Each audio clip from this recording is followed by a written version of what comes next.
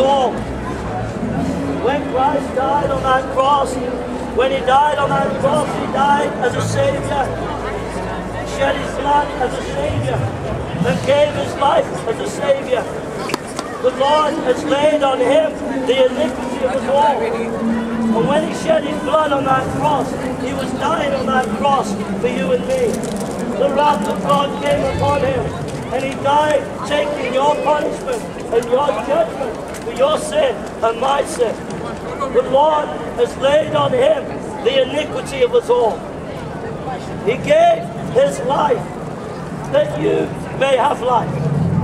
You may have peace today. God bless you.